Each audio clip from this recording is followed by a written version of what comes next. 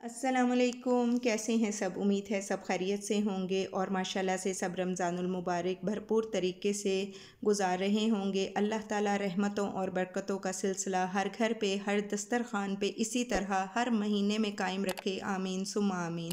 तो चलिए जी, आज के मिनी ब्लॉग का आगाज़ करते हैं। आज हम बनाएँगे चिकन चाशलिक और egg fried rice. Chicken shashlik के लिए मैंने एक प्याज ली और उसकी इस तरह से लेयर्स लेके उन्हें क्यूब्स में काट लिया, यानी डाइस फॉर्म में काट लिया। और इसी तरह आपने भी कट कर लेना है। उसके बाद हम शिमला मिर्च लेंगे, इसको अच्छी तरह से अंदर साफ़, अंदर से साफ़ करके और इसे भी हम क्यूब्स में काट लेंगे।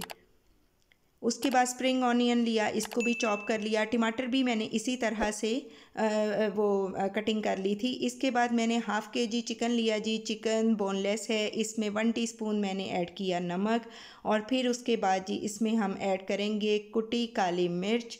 वन टीस्पून जाएगी इसमें soya sauce, one teaspoon chilli sauce, one teaspoon.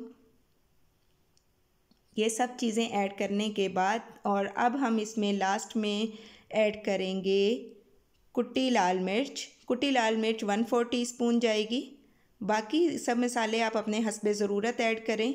और फिर हम इसे अच्छी तरह से मिक्स करेंगे और अब हम इसमें बिल्कुल लास्ट पे एंड करेंगे। लहसुन, अदरक का paste half half teaspoon और इसे अच्छी तरह से मिक्स करके मैरिनेट होने के लिए दस मिनट के लिए छोड़ देंगे। उसके बाद लिया जी मैंने एक पैन पैन में दो टेबल स्पून ऐड किया आयल आयल ऐड करने के बाद अब हम इसमें ऐड कर देंगे लहसुन, अदरक का पेस्ट आपको जिस कदर पसंद है, इतना ही ऐड करिएगा, क्योंकि इससे थोड़ा सा स्ट्रॉन्ग फ्लेवर आता है। इसको हमने गोल्डन नहीं करना जस्ट सौते करना है, और उसके बाद जो चिकन हमने मैरिनेट करके रखा था, वो ऐड कर दिया हमने अपनी कढ़ाई में, और फिर इसको स्टार्ट करेंगे पकाना।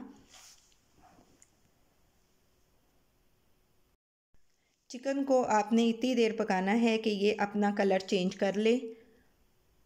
और अपना पानी छोड़ दे। चिकन ने जी अपना पानी छोड़ दिया है। अब हम इसमें एक बाउल पानी और ऐड कर देंगे और फिर मैंने इसे कवर करके दस मिनट के लिए पकने के लिए छोड़ दिया था। और जब चिकन में पानी रह, कम रह गया और अच्छा सा टेंडर हो गया तो फिर मैंने इसमें ऐड की अपनी बाकी वेजिस ताकि जो इसका टेस्ट है और जो इसमें मॉइस्चर है, वो वेजिस के भी अंदर तक चला जाए। बस इसको आपने इतनी देर पकाना है कि हमारी वेजी सौगी ना हो, बस क्रिस्पी क्रिस्पी रहें और लेकिन जो मसाला है ना, वो भी साथ अच्छी तरह से इनमें भी रच बस जाए। और फिर हम इसे अलग पैन में निकाल के रख देंगे। उसके बाद जी एक और पैन लिया और उसमें मैंने आयल डाला और तकरीबन चार हमारे बड़े साइज़ के टमाटर थे, उनका पेस्ट बनाया और उसे कढ़ाई में ऐड कर दिया और फिर वन टीस्पून नमक ऐड किया। वन टीस्पून ही चिकन पाउडर ऐड किया, आपके पास है तो डालें अदरवाइज़ स्किप कर दें। इसके बाद जी हम इसमें ऐड करेंगे काली मिर्च पाउडर ये भी इसमें जाएगा हाफ़ टी स्पून और फिर इसे भी अच्छी तरह से कर लेंगे मिक्स मिक्स इधर आप जो फ्लेम है ना, वो मीडियम रखेंगे, बहुत ज़्यादा हाई नहीं रखेंगे। इसके बाद इसमें थोड़ा सा ऐड किया पानी। पानी ऐड करने के बाद अब इसमें हमने थोड़ा विनीगर ऐड किया। विनीगर इसमें दो टेबल स्पून के इक्वल मैंने ऐड किया है ताकि ये थोड़ा सा स्पाइसी भी हो और थोड़ा खट्टा मीठा भी हो जाए। उसके बाद जी इसमें मैंने केचप ऐड कर दी। केचप हाफ़ कप के इक्वल ऐड की और इसके बाद जी मैंने इसमें ऐड कर दिया कॉर्नफ्लोर। कॉर्नफ्लोर को पानी में मिक्स करके मैंने ऐड किया। ये देखे माशाल्लाह से किस कदर स्मूथ और शाइनी सा आ, हमारा पेस्ट बन गया है। बस हमें यही चाहिए था। ये मैंने इसकी कंसिस्टेंसी चेक की है कि किस तरह से इसका होना चाहिए। और इसके बाद जी अब इसमें हम ऐड करेंगे थोड़ा सोया सॉस सोया सॉस मैंने वन टीस्पून ऐड किया और अब इसी स्टेज पे हम इसमें चिली सॉस भी वन टीस्पून ऐड कर देंगे। और बाकी जो चिकन और वेजीज़ वो हमने पहले से तैयार करके रखी थी, उनको भी हम इसमें ऐड कर देंगे। तो जी, सॉस हमारी माशाल्लाह से अच्छी सी रेडी हो गई थी। थोड़ा सा स्प्रिंकल किया हमने इस पर हरी प्याज को और बस इसकी यही कंसिस्टेंसी होनी चाहिए, इससे ज़्यादा थिक नहीं करेंगे। और इधर मेरे एग फ्राइड राइस भी रेडी हो गए थे। ये उनकी फ़ाइनल लुक है। और इफ़ार के फ़ौर बाद रेहान चाय पीते हैं तो चाय भी बन रही थी। तो जी, फिर मैंने पैन लिया, उसमें आयल डाला, लहसुन, अदरक का पेस्ट डाला, बोनलेस चिकन मेरे पास रखा हुआ था, वो मैंने इसमें ऐड किया और अब इसको स्टार्ट कर दिया भूनना। अगर आप मेरी डिटेल वीडियो देखना चाहते हैं, एग फ्राइड राइस के बारे में तो आप लिंक पर जाकर देख सकते हैं। अब हमने इसमें ऐड किया नमक। नमक ऐड करने के बाद अब हम इसमें ऐड करेंगे चिकन पाउडर। चिकन पाउडर मैंने टू टीस्पून ऐड किया था। इसके बाद हमने इसमें हरी प्याज ऐड कर दी और उसके बाद मैंने शिमला मिर्च और गाजर भी ऐड कर दी थी। तो आप वो देख लीजिएगा, क्योंकि आप लिंक पे देखेंगे तो सारी चीज़ें बीच में होंगी। और ये कि यहाँ पे थोड़ी सी वीडियो वो मुझसे स्किप हो गई है, इसके बाद कुटी काली मिर्च, कुटी काली मिर्च इसलिए ऐड करेंगे कि आप इससे राइस का फ्लेवर बहुत अच्छा आएगा।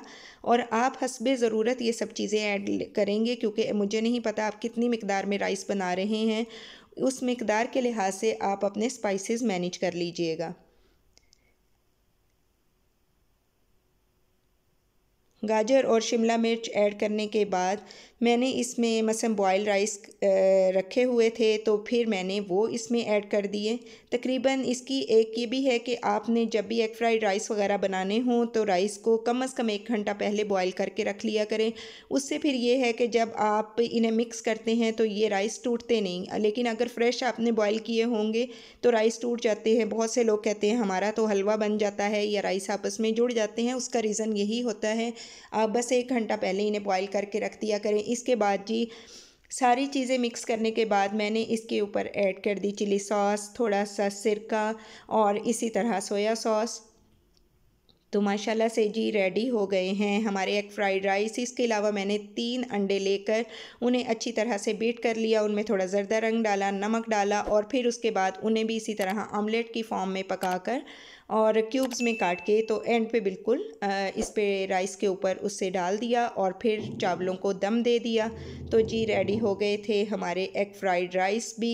तो ये देखें जी, माशाल्लाह से फ़ाइनल लुक हमारे एग फ्राइड राइस और चिकन शाशलिक की माशाल्लाह से बहुत ज़बरदस्त बना था और मैंने इसे इफ़ार में ही सर्व किया था। ये देखें, माशाल्लाह से मेरी इफ़ार टेबल और इसमें मैंने साथ में वॉलनेट केक भी बनाया था, बहुत मज़े का बना था और कुछ मेरे गेस्ट भी माशाल्लाह से आ गए थे तो फिर हम सबने माशाल्लाह बहुत इंजॉय किया, अल्हम्दुलिल्लाह, शुक्र अल्हम्दुलिल्लाह। अल्लाह पाक सब के टेबल और सब के दस्तरखान इसी तरह रहमतों और बरकतों से भरे रखे। और इसके बाद जी, अब मैं चाहूँगी इजाज़त, अपना बहुत ख्याल रखिएगा, मुझे आपके फ़ीडबैक का